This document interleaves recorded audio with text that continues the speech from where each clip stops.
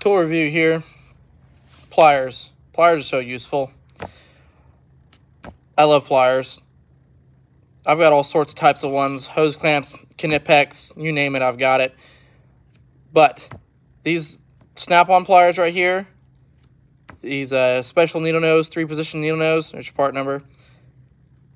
They are the best, hands down the best pliers. Here's the bigger ones too.